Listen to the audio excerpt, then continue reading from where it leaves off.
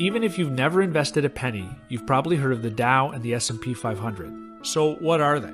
They're stock market indexes, which means they track the performance of groups of stocks, and the result is a broad measure of the overall gains or losses in the market. The Dow Jones Industrial Average, or the Dow, tracks the stock performance of 30 large US based companies, and it gives most weight to stocks with the highest share prices. The Standard & Poor's 500 index, better known as the S&P 500, also tracks large US-based companies, but it provides a much broader measure of the market because it includes 500 companies. The S&P also calculates average performance differently than the Dow does. It gives greater weight to companies with larger market caps, not higher share prices. The Nasdaq Composite Index groups together many of the stocks that trade on the Nasdaq Stock Exchange, largely shares of tech companies. A lot of investors use the NASDAQ to gauge the overall performance of technology stocks like Tesla, Apple, and Facebook. Understanding the differences between indexes can help you get a snapshot of different parts of the stock market. For example, the Dow can show how the largest companies in the US economy, like Walmart and Apple, are doing at a given moment.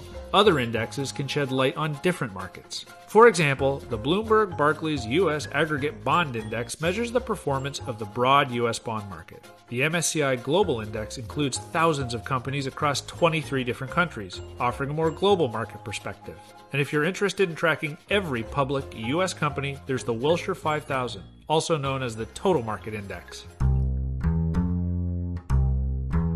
Indexes serve as useful guides for following market trends. That's one reason financial news outlets often include the movements of the S&P 500 and Dow Jones Industrial Average. Every index is divided into points. Now here's the interesting part. As indexes rise in value, each point is smaller on a percentage basis. For example, on Black Monday, the Dow fell 22.6%, or 508 points. With the Dow around 35,000 today, a 22.6% decline would be 7,910 points. Indexes can also be useful for measuring how well a stock or mutual fund is performing compared with similar investments. For example, if you invest in an actively managed small cap mutual fund, you might want to see it outperform the Russell 2000 index of small cap stocks. Side note, if you don't know what an actively managed fund is, don't worry, we'll explain that in a later episode. Indexes also form the basis of index funds, which aim to mirror the performance of specific parts of the market. The first index fund was launched by Vanguard in 1976, and the company was an early champion of the low cost funds. For many long term investors, owning index funds has been a winning strategy for decades. Today, lots of companies offer index funds, and since 1993, investors have also been able to invest in ETFs, exchange traded funds that track indexes like the S&P 500.